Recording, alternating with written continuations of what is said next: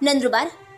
शहादा तालुक्यातील शहाणागाव शिवारात गणेश शिवाजी भंडारी यांच्या शेतात त्यांनी कापसाच्या शेतामध्ये विना परवाना बेकायदेशीर गांजा सदृश्य झाडांची लागवड करून त्यांची जोपासना केल्याचे दिसून आल्याने शहादा पोलीस ठाणे व स्थानिक गुन्हे अन्वेषण विभागाच्या पथकाने गणेश शिवाजी भंडारी यांच्या शेतात धाड टाकून सदर गांजाची तीन हजार सहाशे गांजा सदृश्य झाडे तपासणीत गुंगीकारक मनव्यापारावर परिणाम करणारे असल्याचे निष्पन्न झाल्याने शेतातील सर्व झाडे जप्त करण्यात आली आहेत. पोलिसांद्वारे जप्त करण्यात आलेल्या हिरव्या गांजाच्या झाडांची किंमत तेवीस लाख छत्तीस हजार सातशे शहाण्णव रुपये असल्याचे पोलीस तपासात नमूद करण्यात आले आहे.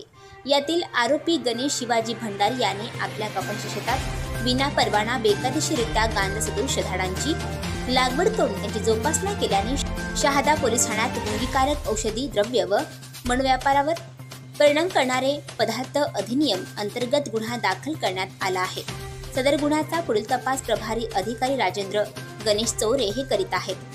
डीएनए मराठीसाठी सल्लाउद्दीन लोहार शहादा नंदुरबार.